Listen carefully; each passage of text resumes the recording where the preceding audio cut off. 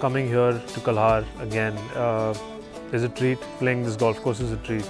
Uh, now that the golf is an Olympic sport, there are a lot of players that are coming out of this golf course, and which is which is a very good thing for the sport.